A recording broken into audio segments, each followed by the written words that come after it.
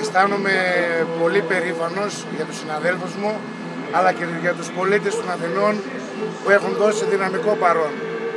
Ήρθε επιτέλους η ώρα να ξυπνήσουμε όλοι μας γιατί τα προβλήματα τα δικά μας θα πάνε και στη δική τους πόρτα. Αυτό είναι η απάντηση στην κυβέρνηση. Αισθάνομαι μεγάλη χαρά, ενωμένοι όλοι οι αγρότες. Δεν υπάρχουν κόμματα, δεν υπάρχουν χρώματα. Ήρθαμε εδώ σήμερα για να καταλάβουν οι, οι κυβερνώντες ότι η αγροτιά σβήνει. Χρειάζεται φτηνό κόστος παραγωγής και να μην, να μην φέρουν προϊόντα από, από τρίτες χώρες. Να προστατεύσουν τα προϊόντα μας. Διαφορετικά σβήνουμε. Δεν θα έχουμε να φάμε. Πιστεύουμε ότι κάτι θα βγει από όλο αυτό. Αλλιώς θα αναγκαστούμε να σκληρύνουμε κι άλλο τη στάση μας.